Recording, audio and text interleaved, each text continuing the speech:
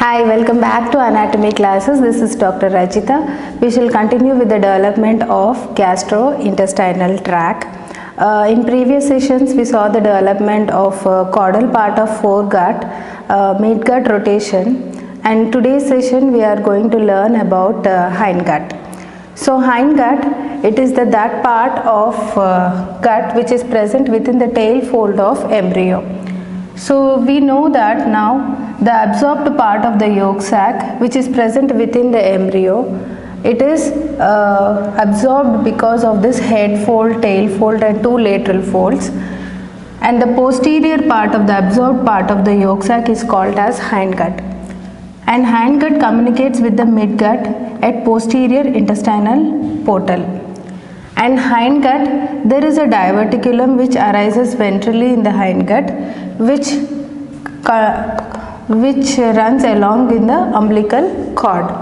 This diverticulum is called as allantois so allantois arises from the ventral side of the hindgut dividing the hindgut into pre-allantoic part and post-allantoic part pre-allantoic part. It forms the rest of the transverse colon that is uh, uh, lateral one third of the transverse colon descending colon sigmoid colon and part of the rectum. And the lower post-allantoic part it gets dilated to form a cloaca which is lined by endoderm. So you can say it as endodermal cloaca. And endodermal cloaca it is further limited below by a membrane which is called as cloacal membrane so the endoderm approximates with the ectoderm of the proctodeum to form the cloacal membrane so if you see the cloacal membrane, it is a bilaminar structure which has got the ectoderm and endoderm. There is no intervening mesoderm.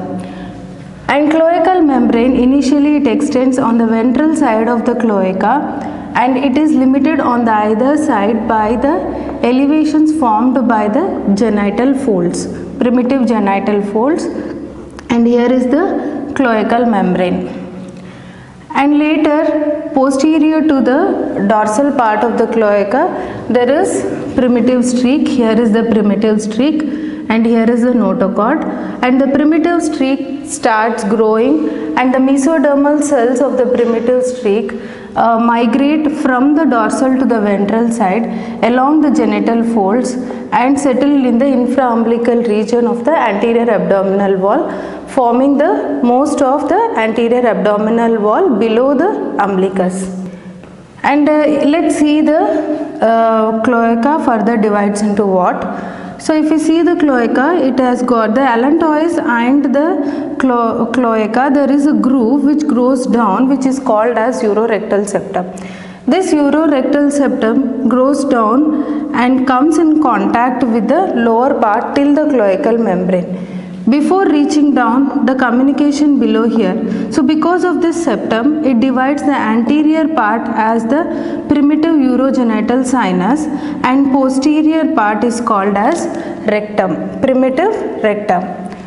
And the communication between the urogenital sinus and primitive rectum is called as cloacal duct hindgut is suspended in the dorsal mesentery uh, which is a primitive dorsal mesentery containing the inferior mesenteric vessels supplying the hindgut and uh, the hindgut we know it is divided into pre-allantoic and post-allantoic parts and pre-allantoic is a narrow tube-like structure and post-allantoic part gets dilated to form the cloaca.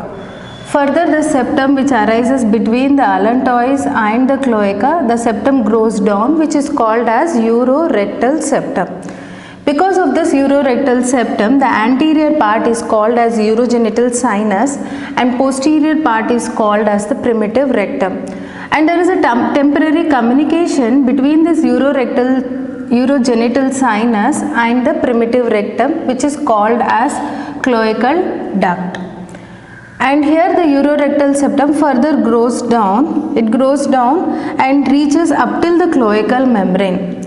So because of the fusion of the urorectal septum with the cloacal membrane it divides the cloacal membrane into an anterior part which is called as urogenital membrane and the posterior part is called as anal membrane Further, the anal membrane gets deepened to form the anal pit, which is surrounded uh, by the proctodeum. And this anal pit further grows because of the surrounding mesenchymal cells proliferate, growing and making into a deeper pit which is called as part of anal canal. Later this anal membrane ruptures to form the anal canal where the primitive rectum communicates with the anal canal. So if we see this urorectal septum in coronal section, it is formed by the three components, a vertical band and two lateral folds. So the vertical band which grows vertically downwards is called as Tourneux's fold and two lateral folds are called as Rathke's folds. So the vertical fold comes down and two lateral folds join together. So initially the, uh, they lead, leave a gap which is called as cloacal duct and later the cloacal duct disappears completely by fusion of all these three folds. So Rathke's folds are actually along, arises from the lateral wall of the cloaca. So this lateral wall of the cloaca, the Rathke's fold contains two components which are called as mesonephric duct and paramesonephric duct. So the lateral ones are the mesonephric duct and medials are the paramesonephric duct. Mesonephric duct uh, is called as the Wolffian duct and paramesonephric duct uh, is called as Mullerian ducts. And this here is the transverse section to show the components present within the urorectal septum and now we can see the anterior part is called as urogenital sinus and posterior is called as the primitive rectum and between the septum is the urorectal septum. The temporary communication here is the cloacal duct and the cloacal duct completely disappears here after fusing the urorectal septum down till the cloacal membrane. So that is about the urorectal septum and uh, development of the rectum and the anal canal. So if you see the interior of the rectum, it has got valves which are called as Houston's valves.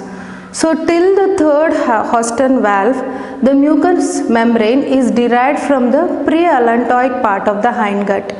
And below the third valve, below the third Houston's valve, the mucous membrane is derived from the endodermal cloaca. And next uh, about the anal canal. The anal canal interiorly has got a line which is called as pectinate line.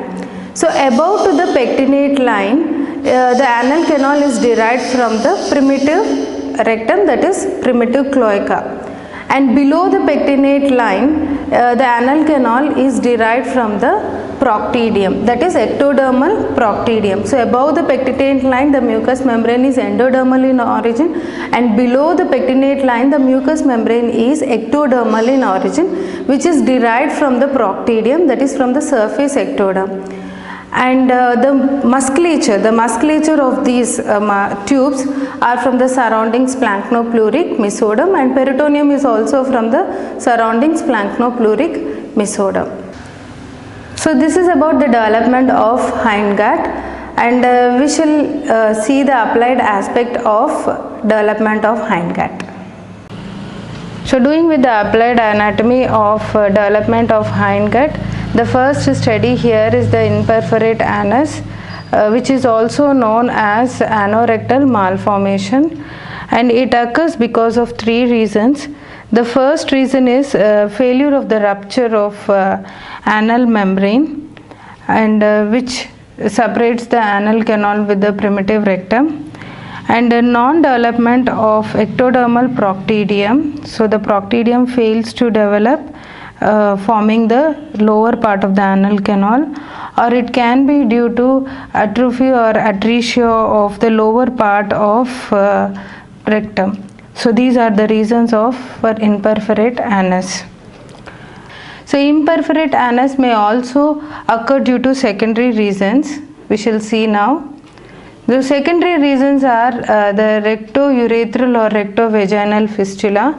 In males, uh, the urinary bladder and the urethra are related in front of the rectum. So here is the rectum. Uh, rectum, uh, this is the rectum and here is the urethra and most commonly it occurs through the prostatic part of the urethra so communicates with the primitive devel- uh, developed rectum and here there is imperforate anal canal and in females between the urinary bladder and the rectum we see the development of paramesonephric ducts or mullerian ducts. They grow to form the uterus and uh, vaginal canal. So because of intervening vagina in between the rectum and the urinary bladder so recto-vaginal fistula may result. So this also uh, is one of the anomalies associated with the imperforate anus Hirschsprung disease. Hirschsprung disease is uh, a congenital malformation of uh, absence of submucosal plexus which are called as Meissner's plexus and um, my- myenteric plexus which are present within the muscular wall of the GIT. So in the lower part of the GIT uh, because of the failure of migration of neural crest cells to this area so submucosal plexus that is a Meissner's plexus and myenteric plexus fails to uh, appear. So because of the absence of these uh, plexus, uh, the peristaltic movements lose their reflex causing a megacolon and it happens in 1 in 5000 births. I hope you all got to know about the development of hindgut. Uh, subscribe, like, share and press the bell button for further notifications. Bye.